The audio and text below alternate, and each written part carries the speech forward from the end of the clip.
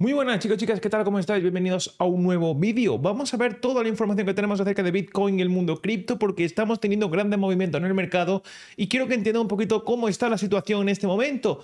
Vamos a ver qué está pasando primero que todo con Solana y Bitcoin, sobre todo porque estamos viendo que Solana está empujando hasta los 100 dólares, que hemos visto muy cerca de tocar los 100 dólares. Y ahora vamos a explicar un poquito qué está pasando porque las altcoins, hay muchas altcoins que están empujando fuerte y vamos a explicar, como digo, por qué. Pero antes de ello, ya sabéis que podéis suscribiros al canal y activar esa campanita para no perderos absolutamente nada de lo que estamos trayendo por aquí al canal también. Rápidamente, eh, recordaros que tenemos todavía, bueno, tenemos ese curso disponible de Smart Money, de trading que podéis recibir totalmente gratis, hemos grabado y que por supuesto podéis recibirlo a través de Quan Fury. Si os registráis en el broker de Quan Fury, tenéis el código ahí abajo, el código Frank Ruiz, el link para registraros en la primera línea de la descripción. Fondeáis 50 dólares, que eso pues podéis retirarlo cuando queráis y automáticamente recibiréis al mail ese curso. Además tenéis cero comisiones, os van a dar cuando depositáis hasta 250 dólares en fracciones de acciones entre 3 y 250 dólares. Por tanto, podéis aprovechar eso que es muy sencillo y muy positivo para todos vosotros, por supuesto. Vamos a ver rápidamente qué está pasando, porque ahora mismo, como digo, eh, Solana está empujando hasta casi los 100 dólares. Ha tenido una pequeña corrección por debajo, de, bueno, hasta los 90 aproximadamente, pero vemos que nuevamente parece en 4 horas que vuelve a empujar. Tema Bitcoin. Fíjense el tema Bitcoin como está totalmente lateral el precio desde el miércoles. Bueno, esto lo estuvimos viendo en, en directo, ¿vale? Estuvimos comentando que el movimiento que había hecho Bitcoin aquí, bueno, estaba, estaba siendo muy alcista, ¿no? Pero fijaos lo que nos viene haciendo aquí. Este rango que Bitcoin nos está dejando es un rango donde claramente lo vemos en una hora y lo vemos desde el miércoles, claramente nos está diciendo la dominancia de Bitcoin que ahora mismo es tiempo de altcoin. Ahora mismo no es tiempo de Bitcoin. Bitcoin está descansando en este instante. Y cuidado porque Bitcoin está descansando cerca de los 44 mil dólares, cerca del máximo, del máximo anual, ¿vale? Por tanto, nos está dejando yo creo que claras las intenciones de Bitcoin de decir, ojo, Vamos a dejar paso al resto, yo no me muevo de aquí, que el resto tenga protagonismo, pero cuidado porque eso podría estar dejándonos la señal de que estaría cerca una posible corrección en las criptomonedas, porque ya sabemos cómo funciona esto. Estamos viendo primero empuje de Bitcoin, posteriormente empuje del resto de altcoin y posteriormente empuje de muchos memes y muchos proyectos de, de shitcoin en este caso que ya sería el final de un movimiento alcista en el mercado cripto, ¿vale? Esto es importante que lo entendamos, ¿vale? Por lo que estoy comentando que sí, ahora mismo es el momento de las cripto, estamos observando de las y mejor dicho, estamos observando esta caída que estamos viendo en cuanto a la dominancia.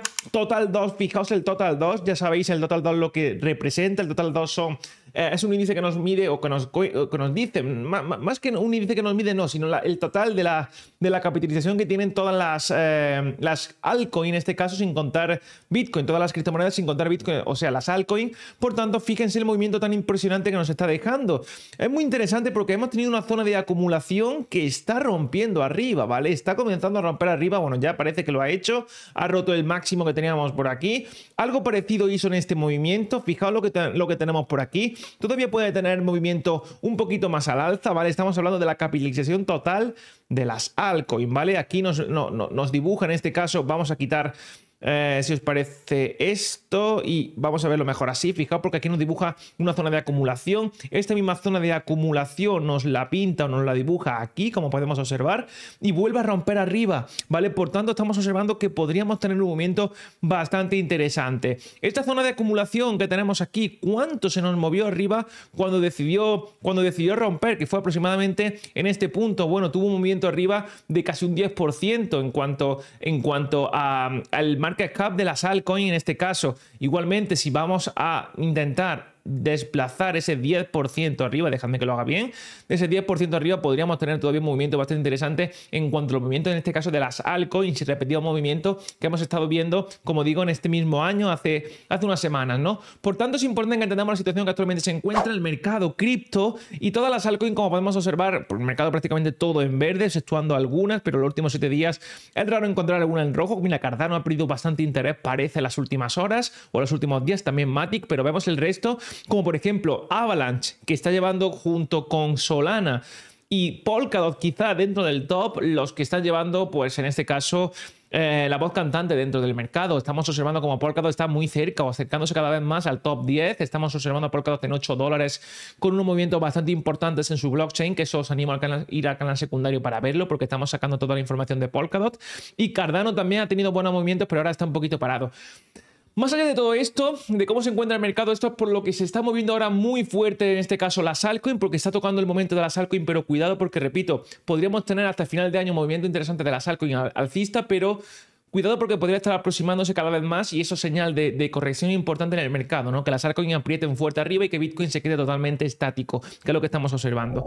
Rápidamente, noticias acerca del ETF. Esto es lo que tenemos que comentar. Importante porque tenemos mensaje de Gary Gensler que vamos a intentar analizar y vamos a ver ahora dentro de un momentito, pero más allá de eso vemos que, bueno, eh, noticia de Cointelegraph de hace una hora que la aprobación del ETF de Bitcoin al contado sucedería antes del 10 de enero, lo que ya sabemos, ¿vale? Lo que ya sabemos, esto es algo que venimos comentando mucho por el canal y que no cambie demasiado la situación que tenemos respecto a ese ETF.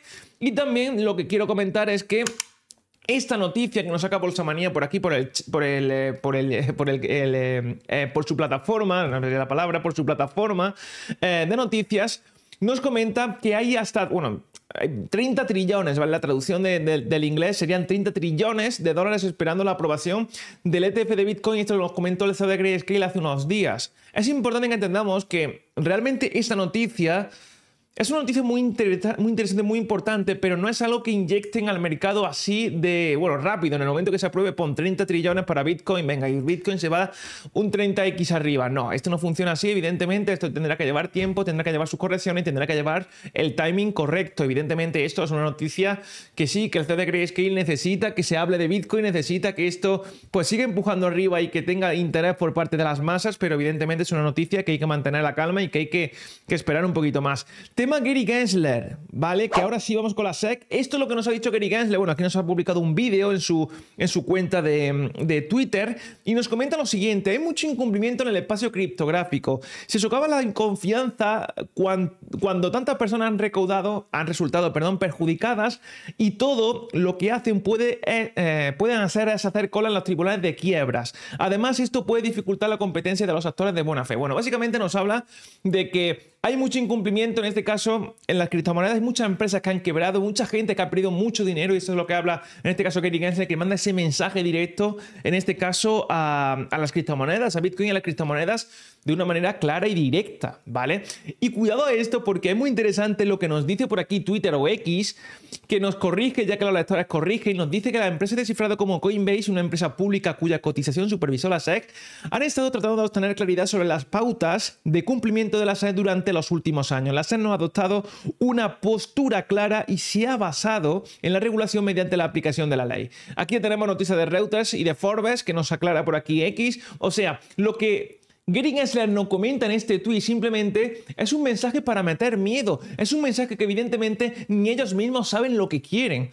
Y esto es una realidad, es que ni ellos mismos saben lo que quieren. Ahora mismo se están viendo forzados, y ellos mismos lo han dicho, y por supuesto Gary Gensler lo ha dicho, se están viendo forzados por los, por los juzgados, por los tribunales, a terminar aprobando ese ETF de Bitcoin Spot y ellos no lo quieren hacer.